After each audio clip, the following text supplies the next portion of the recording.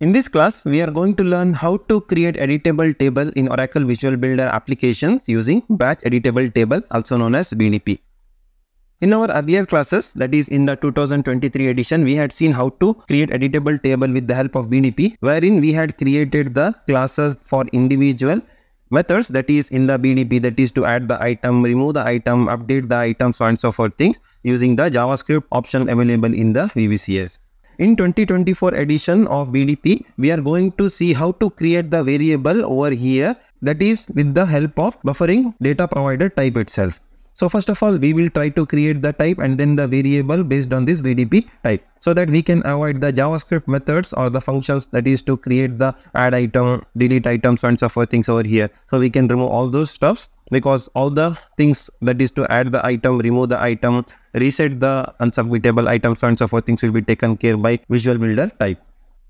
Now first of all, I will drag and drop the table component over here before we see how to create the BDP variable. Next, I will populate the table data over here using this business object that is person business object. Select this, click on next. So you might have a scenario wherein you have to create the editable table based on some database table or it might be uh, any other business object or even the REST response.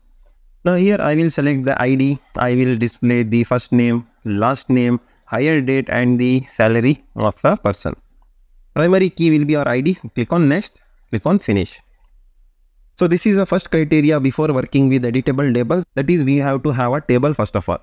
Next, I will restrict the height of this table using this style property over here and let me restrict the height to 55 VH. This should be sufficient. Done. This is the first step. Next step in making any table editable is we have to set this edit mode to row edit that is over here to row edit so that when we click on any row this will be popped up. So currently we have not modified this table. Uh, we have just drag and drop the table component over here in this page before we go ahead and create the bdp variable. Now as soon as we populate this table with the help of quick start what vbcs will do is it will create the sdp variable. Also it will create a type. So it will be based on this business object what I have used for this use case that is the person business object. And it is having few data which I have added. Coming to the fields, I have created few fields over here like the ID, first name, last name, so on and so forth things. Now let us go back to our class that is creating the BDP variable. So in order to create the variable of type BDP, first of all we have to create the type. So as of now, if we go to this variables and click on plus, here we won't see the type that is buffering data provider. Right now we see ADP and SDP only. So in order to create the type, we have to create the type of BDP so this type we have to create at the application level. Click on this web application, go to the types. Here we have to click on this type and click on this from code. Click on this. Now here let me name this as OJS slash OJ buffering data provider type. Click on create. Now here we have to upload the type definition. Now you might ask me where is this type definition we will get. So Oracle has uploaded the type definition for creating this BDP type in Visual Builder over here. You can just click on this download the raw file and rename that file to bdp.ts so currently the extension which is supported over here is .ts or .d.ts if you straight away download this file it will download the file with the name index.d.ts so no need to rename as well. But in my case i have renamed this file to bdp.ts click on this and select the file. I have file over here bdp.ts click on open so our BDP file got loaded successfully. Coming to the display label over here, I will name this as jet buffering data provider. Just about. Next, once the type has been created at the application level, next we will go to this page that is main start page over here. Go to the variables here, click on plus variable and let me name this as v person BDP type of variable. Coming to the type, we have to select the buffering data provider. So in the display name, we had provided jet buffering data provider. So it's over here, select this and click on create. So as soon as you click on create, our variable will be created. Next is we have to map the SDP variable which our table has created when we dragged and dropped over here and populated the table with the help of this quick start. So we had seen that it had created the SDP variable in the backend that is over here already. Now the same SDP variable we have to map over here under the data provider. Now I will map this SDP that is to the data provider. Click on save. So once this is done, go to the page designer. Now next job is we have to associate our table to this buffering data provider. Now how to associate this is we have to select this table, go to the data, here click on the FX. So instead of this SDP, what we have to do is we have to expand this BDP and we have to map this instance over here, not the BDP variable itself. We have to drop BDP.instance over here. That is, we have to drag this instance. Click on save. Now click on refresh. Now whatever data what you see populated in this table is from the BDP variable. So in our next classes, we will see how to make this table editable and how we can make use of the BDP variable items that is the methods available within this variable that is add item, remove item, call item, so on and so forth things with the help of call variable action within the action chain.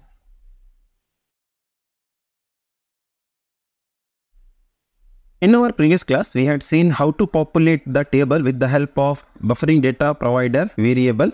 In this class, we will see how to make this table editable. Right now, if I just click on this any row, it is just getting popped out and it is not allowing the user to edit.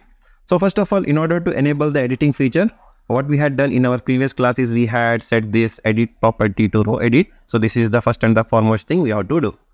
Next is we have to drag and drop the appropriate fields over here which, which supports the editing of the data. Like here in this case, this is a string. We have to drag and drop the input that is capable of taking the string type of data.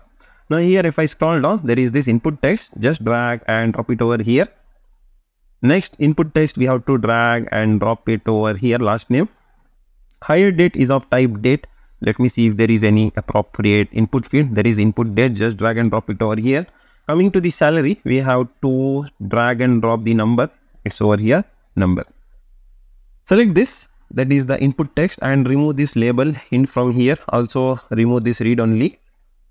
Coming to the second, that is the last name. Here also we have to uncheck this read only and remove the text label. Coming to the input date, here date we have to remove from the label and uncheck this read only property. And the last but not the least, this number for salary we have to remove the label and uncheck this read only. Now go to the live mode and double click. So here we will be able to modify the details. Now as soon as the user clicks outside the table the details whatever we had entered it gets wiped off. So these things we will see slowly how to persist the data whatever user has entered in the edit mode. Now this thing is done. Next what we have to do is we should have a variable which can hold the data whatever user has modified. Now in order to do that what we can do is we have to create a type in order to hold the person's data. For that, we have to click on this type, click from this endpoint, expand the business object. So in our case, what we are doing is we are making use of the business object in order to demonstrate the use case. So I'm going to select my business object, that is the person. So here I will name this as get person type and I will check everything except this links. Click on finish. Done. Go to the variables. Here we have to create one variable with the name v current person so this will be based on my type that is get person type, click on create. That's it. This should be sufficient for us. So default value will be null in our case. Go back to our page designer. There are couple of modes over here in the editable table. If we look at the OJ documentation, one is the navigation mode, another is the edit mode.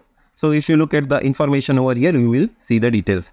Now we can modify all those things by dragging and dropping if conditions and so forth things, but it will extend the length of this class or the video. So what I will do is I will copy paste this portion of code that is if mode is navigation, if mode is edit. So let me just copy this from here and go to my page and let me see the template where it is. Oh, it's over here. That is the first name.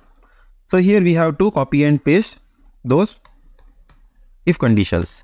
Let me just format so first condition we are checking whether the mode is navigation. Another mode what is supported in the editable table is edit. So OJET is having a concept of cell but in the visual builder we are having current. So let me just populate this as current. Done. Now let me just copy paste same thing for other templates as well. So whatever we drag and drop this input component, it will create the template for a table. So all those things are the basics. I hope you all know all those things already. So let me just copy paste for other fields as well. Now for the hire date, let me end the if condition. Coming to the salary, here also we have to add the end if condition. Sorry, it didn't add over here if condition. Let me add after this input number. Yeah. Now let me just format the file. Let me just go back to this design view. When the editable mode is navigation, what we are doing is we are showing the details with the help of this bind text. As soon as the any row goes to the edit mode, what it does is it will go to this if condition that is for the edit mode, then it will show input text, input text, input date and the salary which is the input component. So all those things for the ID we don't have anything so it is not allowing us to edit. So these things we have done in this class. Now when the person is editing the details over here, we want this to be stored in the current person details. Now that we are mapping over here, now we have to select this first name which is under the if condition which is if mode is edit, we have to select the first name, go to the data. From here instead of current data, what we have to do is we have to map this to the current person first name. Paste this over here.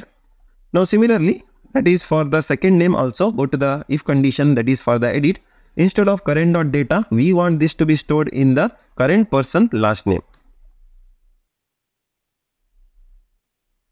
Now scroll down, coming to the date, we want in the edit mode, the date to be stored in v person date that is over here. v person hire date. Drag and drop it over here. And the last part is the salary. Click select this input number and go to the data. Here instead of current data, what we have to do is we have to map this data to v person salary. That's it. Click on save. So in this class, what we have done is we have created the type which can hold the current person data what the user is modifying. So this is the variable which we had created based on the type. Coming to the page designer, first of all, we had seen how to set the edit mode property for our table that is to row edit. That is we had selected the table, gone to the all here in the edit mode, we had selected this row edit then we had individually dragged and dropped the input component that is to suit the type of the variable like the string date over here and the number. Then coming to the templates over here what we had done is we had copy pasted from this OJET cookbook that is the if condition that is the edit mode is navigation edit mode is edit for the editable table and pasted over here. So in our next class we will see how to create the events that is before row edit and the row edit end like how we have seen in the previous classes. That is for editable table